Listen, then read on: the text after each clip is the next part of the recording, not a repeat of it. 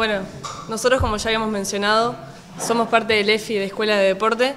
Eh, la Escuela de Deporte se desarrolla los martes, en el horario de 1 a 2 de la tarde, que asiste la escuela 317, y luego los sábados de 9 a 11 de la mañana, en el que asisten diferentes niños de, del barrio. Eh, las edades oscilan entre los sábados entre 5 años a 12, 13, y después lo que pasa los días martes es que concurren diferentes grupos de escolares en horario extracurricular, o sea, no son horas de, educación eh, física curricular, que asisten con la docente y la maestra a cargo. Y, nada, básicamente nosotras formamos parte más que nada de los días martes. Eh, les cuento más o menos la dinámica. Los martes hay dos, eh, se van rotando, pero son dos técnicos de, de fútbol. La idea es, nos juntamos, planificamos y llevamos a cabo una clase que en realidad, más que nada, iniciación deportiva, eh, luego sí concluimos con algo de, fútbol. Los sábados se van rotando los deportes. Eh, está el deporte handball, badminton, fútbol y básquetbol. Es rotativo, un sábado cada deporte. Eh, ¿no?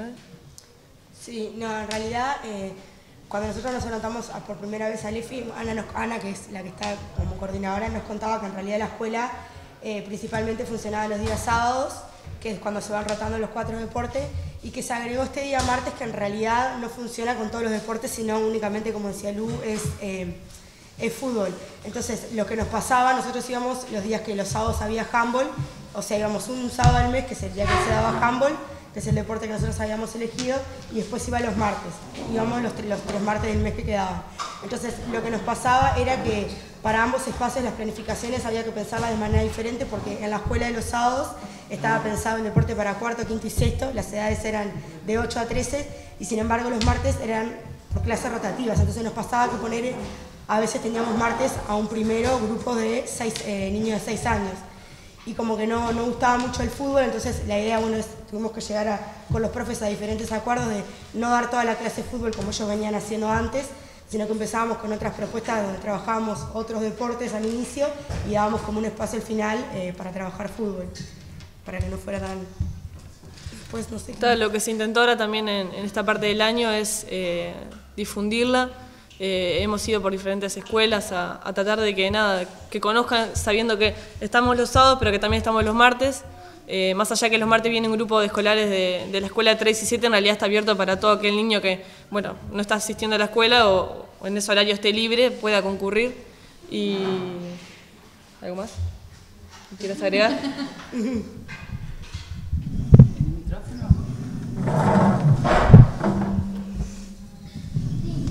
Eh, también están, eh, la, idea es seguir, este, la gran dificultad que está teniendo la escuela hoy es este, que la gente llegue, que los niños lleguen y que sus familias lleguen y que este, eso lo, se está trabajando con, con los referentes docentes de educación física de las escuelas, que nos plantean esta dificultad también. Este, estamos pensando en algunas alternativas para trabajar, eh, como hacer alguna cuestión de líderes comunitarios que acompañen a los grises que lleguen, también nosotros empezar a salir, ¿no? Digo, no estar siempre acá en el ICEF, sino que también empezar a salir a otros espacios que nos permita desarrollar la propuesta. Eso fue en lo último que estuvimos trabajando con, los pasantes. Este, porque los que llegan está bárbaro y se trata de trabajar en una, en una metodología que permita del aprendizaje de diferentes propuestas deportivas, no es que se encasilla en una o en otra. Nosotros tenemos como la, costumbre de decir es fútbol cuando no estamos haciendo fútbol, es handball cuando hacemos juegos predeportivos. Este, la, escuela se va encaminando a asociarse a la unidad curricular de la enseñanza de los deportes colectivos individuales. O sea que este, y, va por ahí, y también al, módulo de sentidos y formas de la enseñanza del deporte, con el fin de construir una identidad de la práctica deportiva de Malvin Norte. Este, ah, tienen algo más para decir, qué suerte. Lo que sí, digo, eh, acá eh, tuvimos la experiencia de ocho pasantes, este, tanto de la licenciatura como de la tecnicatura, que eso también fue como una, una riqueza interesante en, la combinación acá de, de los equipos de trabajo.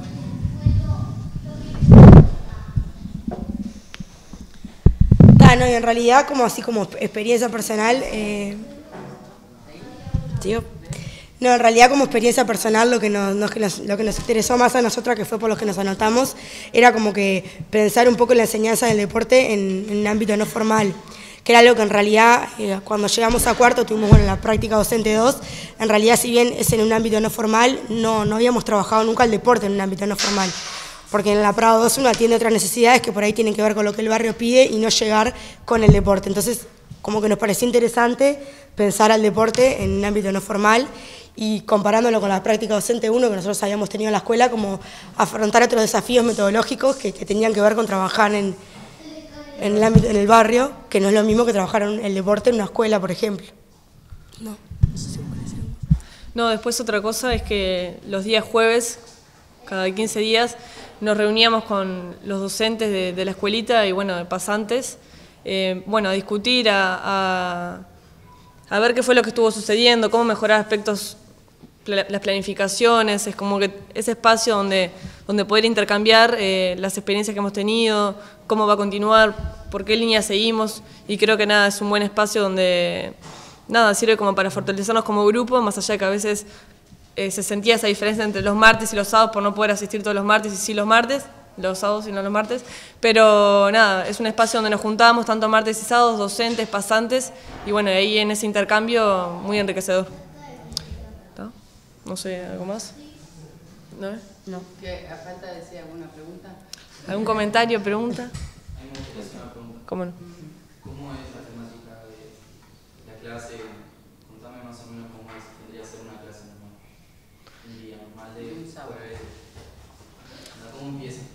los sábados, eh, Omar, porque en realidad nosotros íbamos los dos días. Los sábados, por ejemplo, siempre había eh, un profesor titular que es el profesor de handball, de básquetbol o de badminton o de básquetbol, de fútbol, que son los profes del ICEF. Entonces la idea era como una primera clase que se hacía como una introducción que realmente era como más una entrada en calor y, llegar y, juntarlos, empezar como a preparar la clase, que de eso nos encargábamos los pasantes. Y después había una parte central donde se trabajaba específicamente el deporte que tocara ese sábado, que eso era en conjunto, con planificaciones nuestras que hacíamos en conjunto con el docente, estaba la comunicación que teníamos con el docente también es que no siempre nos podemos reunir más allá de los jueves, pero hicimos un, drive y además de nosotros juntarnos y, planificar, estaba al tanto de lo que se iba a hacer ese sábado a través del Drive, en comentarios, idas y vueltas, y la idea es que también eh, mantener esa continuidad a la hora de planificar, sabíamos que un sábado tocaba handball y después cuatro sábados después volvía a tocar handball, y mantener esa línea y la continuidad, darle como un... Sí, siempre usábamos el espacio final cuando terminaba la clase para juntarnos con el profe eh, titular, digamos, y hablar de, bueno, de qué es lo que dimos, qué es lo que salió bien, qué, es lo que salió mal, qué pasó y cómo corregirlo en la clase que volvería a tocar ese deporte. Sí que se valen varios deportes. Era un deporte por sábado. Un sábado tocaba handball, el otro básquetbol. Claro. Sí. ¿Y los se mantenían o iban en función de repente del deporte que había? Sí, en realidad nosotros lo que nos pasó es que concurríamos solamente los días que había handball y se mantenían los chicos. Igual generalmente vienen siempre los mismos, sea el deporte que sea. Porque al, ser, si no, tendrían que venir una vez al mes, entonces quedaría como que muy cortado, porque solamente cada deporte se da una vez al mes. Entonces generalmente vienen todos los sábados. Pasamos una asistencia también para más o menos como ver eso, eh, el tema de la continuidad de los gurises, y no se veía eso de que venían así cuando había handball o aquel niño venía cuando había fútbol, había sí una cosa de que no, no, siempre venían todos los sábados por diferentes motivos, pero no por un tema del deporte en sí. O de cuando te venían te pedían el deporte que a ellos les gustaba, pero en realidad venían todos los sábados, generalmente. Bien, ¿alguna otra pregunta, comentario? Raquel estuvo, Raquel estuvo siguiendo el espacio de la Escuela de Deportes y colaborando, ¿no? Desde el año pasado.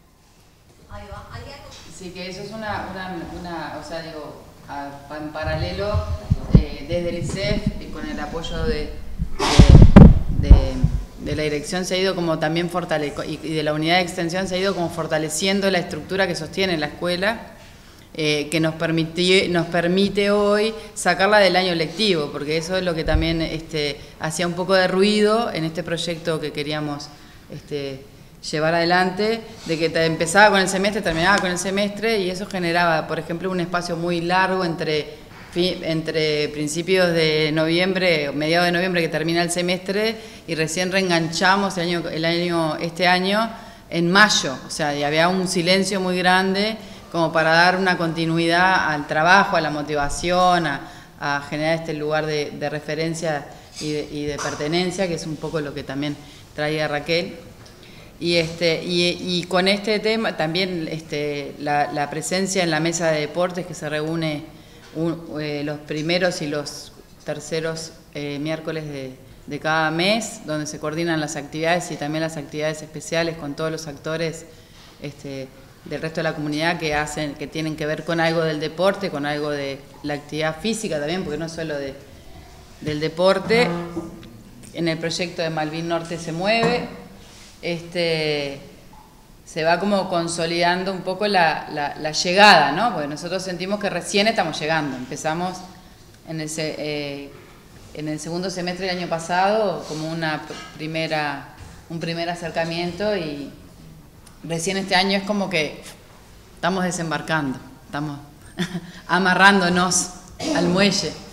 Este, en ese sentido y, muy, mucho, muy importante también eh, el apoyo de la unidad de extensión que también se está consolidando y, fortaleciendo para poder ayudarnos a caminar en esto que incluso en el departamento de deportes, si bien la extensión está tomando cuerpo, pero en el departamento de deportes está también un poco todavía muy, muy incipiente. Entonces, dentro de la escuela también uno de los propósitos es este fortalecer la formación en, extensión incluso de los docentes participantes de la escuela, de, cómo ir cambiando esa, esa lógica de, pensar desde la extensión y no solo desde la intervención, eh, como si fuera, bueno, vengo, doy una clase y me voy, ¿no? Eh, en ese proceso estamos como, como hilvanando la escuela.